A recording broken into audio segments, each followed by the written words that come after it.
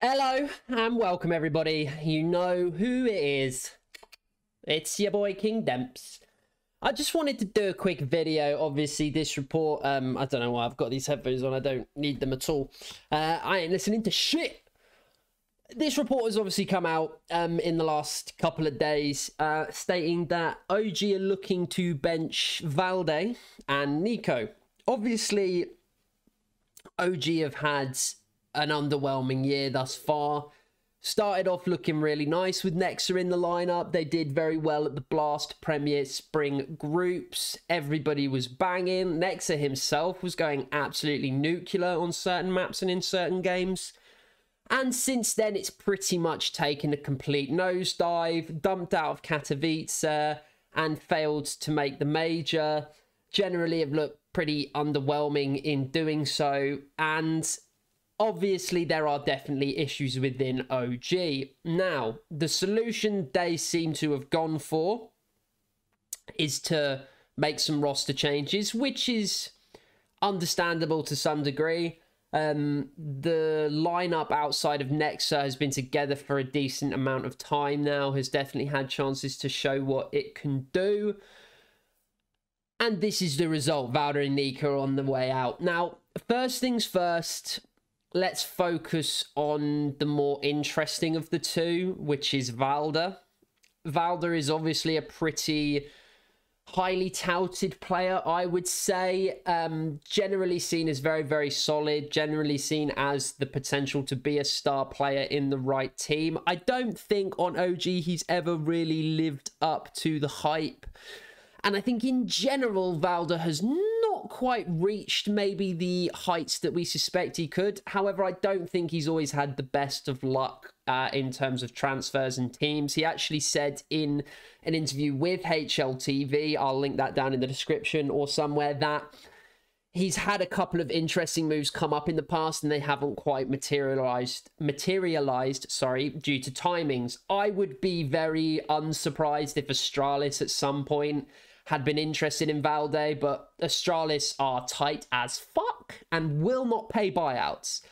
Uh, wouldn't even pay Farlig's probably minuscule buyout buyout from his SPX contract. They basically like waited right uh, until Farlig was a free agent or whatever. Anyway, Astralis being tight asses aside, I would be very surprised if this Valde decision is not partially, at least, mutually agreed. I think I don't like the way I see Nexa call for this team. I think a lot of actual a lot of OG's problems are actually Nexa's calling, considering the personnel that he has around him. Nexa's calling isn't an issue per se. It's not like he's just a shit in-game leader. I don't think that at all. But I think he does not have a team where the very loose, free-flowing, simplistic style that allows very independent and individualistic star players to kind of build upon it. And you know it gives star players a canvas to paint on.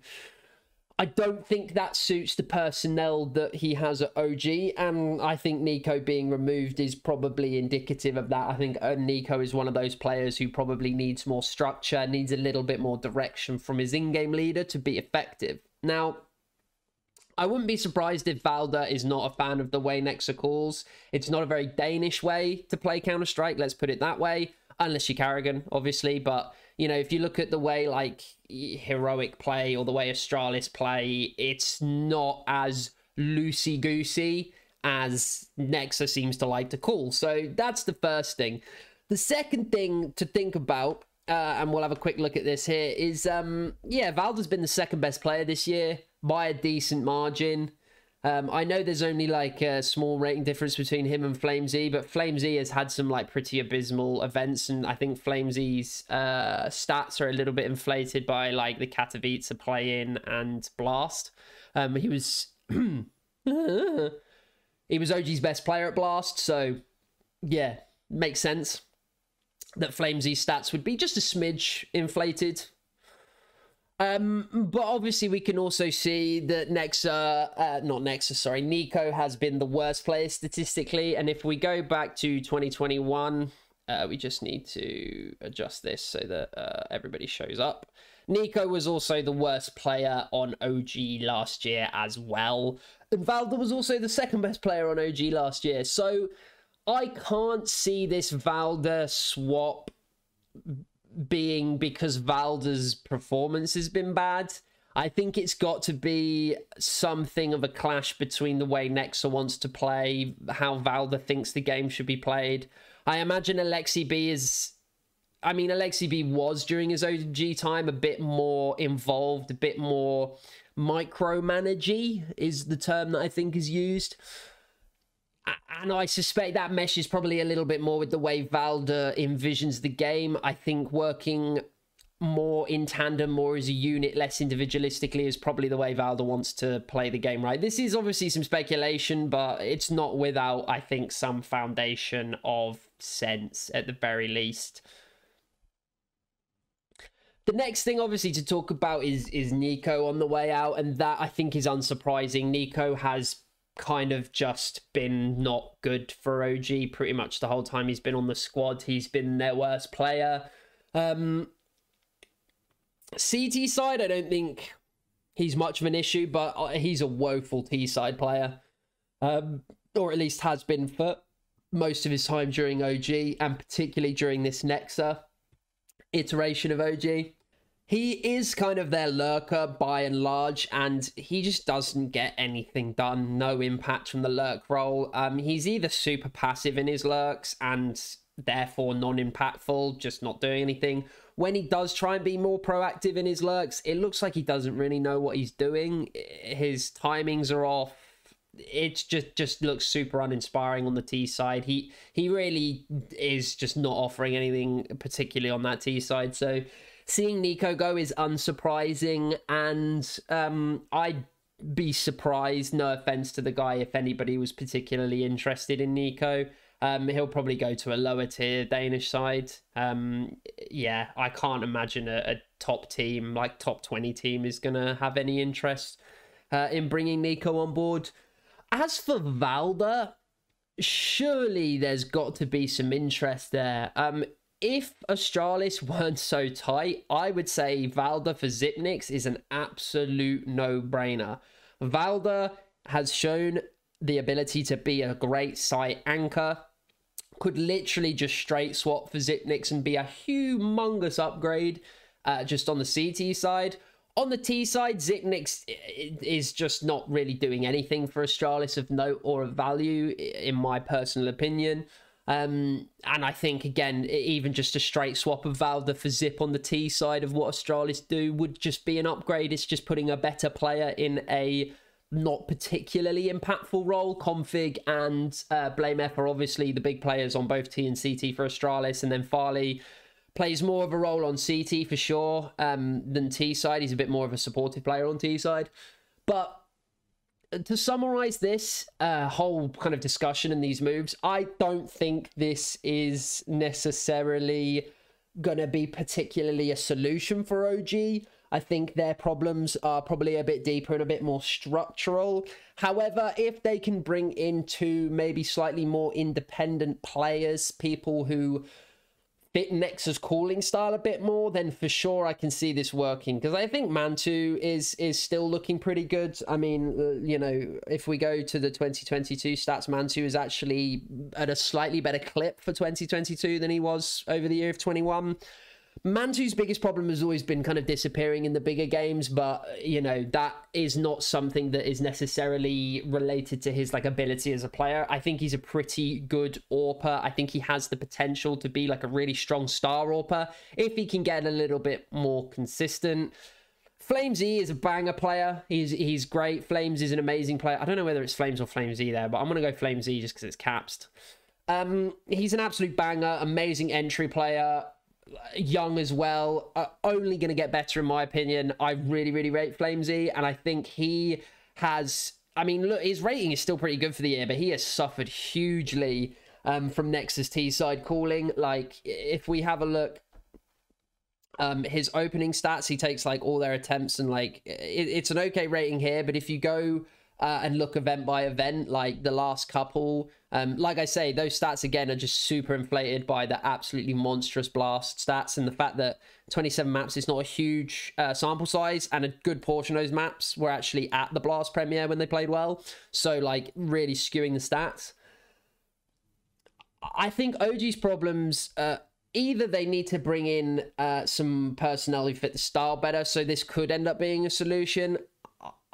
I kind of suspect it might still not be the fix, to be honest. I think Flamesy needs a bit more structure and a bit more setting up.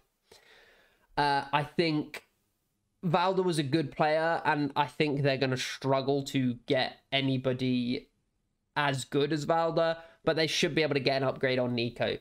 Um, as for where NiKo and Valde will go, I've said a little bit previously. I don't think NiKo is going to end up on a decent team. As for Valde, I think I would be surprised if there's not interest. I think there's international rosters that definitely should or could be sniffing around. Um, and could he go to heroic? Probably not. I don't. I don't necessarily think he would not be good on heroic. I just think I can't see heroic making a change really. Like, who do you swap out? The obvious one probably for heroic is Sjuush. Um, but even then, I think Sjuush is a good player. Based on this year, I might even swap TeSeS if I'm heroic. I think TeSeS has really taken is the guy who's underwhelmed me the most in recent times. Whereas there were points when heroic were at their best where TeSeS looked like a fucking monster. He was alongside stavn as that like monstrous carry force, and he's not been that player for a while, I think. So, but I don't see Heroic making a move, and I wouldn't necessarily say Heroic should make a move.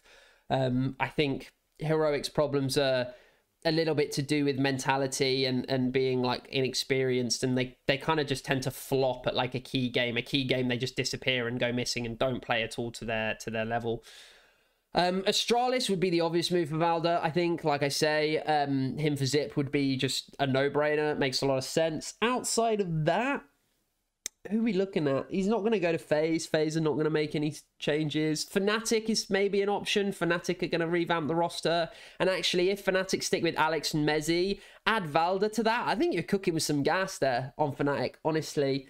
Um, outside of that, let's let's uh, hang on, let's get the let's get the ranking up. I'm I'm blanking on other teams. Uh, G two probably won't make a swap. I don't think even if they do badly at this major.